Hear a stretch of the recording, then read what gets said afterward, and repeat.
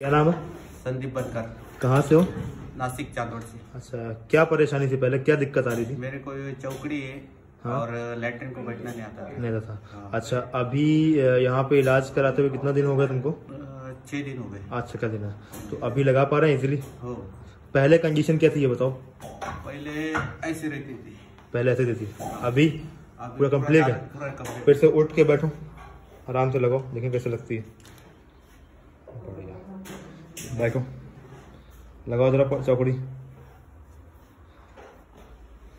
कितने टाइम से परेशान थे? तीन साल से।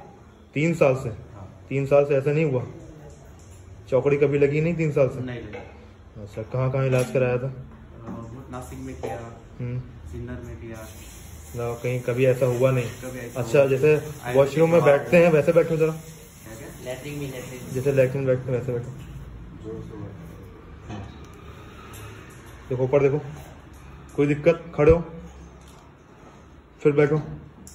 आराम से। ये गुड। ऊपर देखो। बैठ पा रहे हो अभी? हाँ।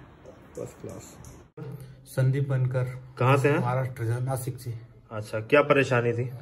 मेरे को तीन साल से उठना बैठना नहीं आता था। अच्छा। हाँ। किस जगह की बीमारी थी आपको? ये एवीएन की। एवियन की अच्छा। कौन सा स्टेज है? थर्ड स्टेज थर्ड स्टेज पे था। अच्छा। क्या परेशानी आ रही थी पहले बताइए जरा मुझे। मेरे को चौकटी नहीं आती थी। हाँ। और लेटरिन को बैठने को तकलीफ़ होती थी। अच्छा पहले अभी और पैर उठाने में मूवमेंट्स में? मोमेंट्स नहीं होते थे। पहले कैसे हो रहा था बताओ। अभी इलाज पूरा हो गया कैसे हो रहा पहले कैसे था? इतना ही था? अभी? पूरा हो रहा है? हाँ। कोई दिक्कत? कोई दिक्कत नहीं। अच्छा नीचे करो। वो वाला उठाओ। वो भी हो रहा है पूरा? हो रहा है। अच्छा कितने दिन में ऐसा लगा कि इम्प्रूवमेंट हो गया? अविनाश सर के पास आके सात दिन हो गए। सात दिन हो गए। अच्छा, आज कंप्लीट अच्छा लग रहा है अच्छा अच्छा। कंप्लीट हो। गए कंप्लीट लग रहा है। अच्छा सीढ़ी उतरने में चढ़ने में भी थोड़ा सा पेन होता था? हो दिक्कत थी अभी कोई तकलीफ़ नहीं। अच्छा अभी उतरो नीचे जरा।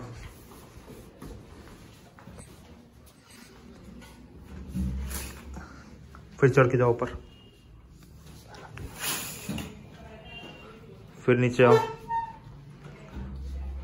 फिर चढ़ो। नीचे जाओ। कोई परेशानी? आराम से हो रहा है। अभी चढ़ के ऊपर बैठो। पीछे जाओ। हाँ पालथी मारो आराम से। चौकली लगाओ हाँ। कोई दिक्कत? कोई दिक्कत नहीं। आराम से। आराम से। कोई परेशानी? कोई परेशानी नहीं। कितने दिन इलाज हुआ यहाँ पर? सात दिन। सात दिन। सात दिन में के पहले ये जो इम्प्रूवमेंट हुए हैं हम्म। ये कब से नहीं हुए थे? ये तीन साल से नहीं हो रहे थे। तीन साल से नहीं हुआ था। खाना भी नहीं खाना आता था। सात दिन में ये कंप्लीट हो गया? कंप्लीट हो गए। ठीक है। ओके थैंक यू बनकर नाम इनका थर्टी नाइन ईयर एज है इनकी। और ये एक्सरे इनका ट्रीटमेंट के पहले का है सत्रह का जो एक्सरे है और इक्कीस को ट्रीटमेंट के लिए मेरे पास आए थे। और ये उनका महाराष्ट्र जहाँ के हैं, ये वहाँ का एक्सरे है ये। और ट्रीटमेंट के बाद हमने एक एक्सरे करवाया है, जिसमें आप देख सकते हैं पहले वाले एक्सरे में जो इम्प्रूवमेंट था पहले वाले में, जो मतलब प्रॉब्लम थी इनकी। यहाँ पे स्पेसेस कम थे और बहुत ज़्यादा डिजनरेशन था। यहाँ पे बॉल का भी डिजनरेशन है जॉइंट का भी डिजनरेशन है, इस तरह भी डिजनरेशन है और बॉल का हिप का हिप जॉइंट का भी डिजनरेशन काफ़ी है। तो हम ट्रीटमेंट के बाद हमने एक एक्सरे निकलवाया, इसमें इम्प्रूवमेंट काफ़ी है स्पेसेस काफ़ी अच्छे हुए हैं। सात दिन में जो इम्प्रूवमेंट ये आपकी ये छः दिन का ही एक्सरे है, एक दिन पहले का एक्सरे है ये। हमने कल ही इनका एक्सरे निकलवा लिया था।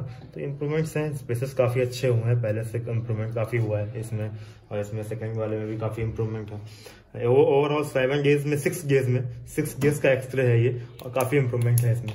तो ये संदीप बनकर जी हैं। ये कैसे मालूम पड़ा यहाँ का? यूट्यूब पे देखा था। अच्छा यूट्यूब पे देखा। हाँ। फिर आ, मतलब यहाँ पे इलाज के लिए आए आप है ना? हाँ। अच्छा तो कैसा क्या रहा? कितने दिन के बाद आराम लगना शुरू हो गया? चार पाँच दिन के बाद।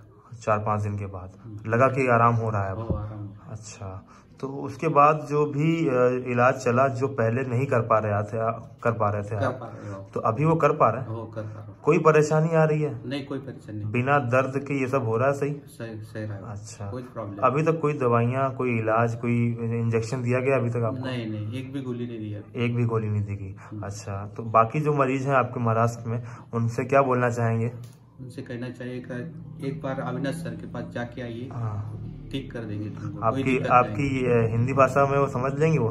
हाँ हा मराठी बोलेंगे? हिंदी में भी समझे आहे एक वेळेस अविनाश सर हॉस्पिटल भेट देऊन द्या. तुमचं जे दुःख आहे ते नीट होऊन जाईल. काहीच अडचण येणार नाही. एकदा गेले काही सगळं काही व्यवस्थित होऊन जाईल. अच्छा अच्छा थैंक यू और आपकी विज़िट अभी दो महीने के बाद फिर से आपको आना है। इसमें से थोड़ा थोड़ा सा जो ट्रीटमेंट में जो एक्सरसाइज जो दवाइयाँ और जो आपको खाने के लिए बताया गया है वो आपको फॉलोअप करना है। उसके बाद दो महीने के बाद फिर से हम एक एक्सरे और ट्रीटमेंट का आगे बढ़ाएँगे। Thank you so much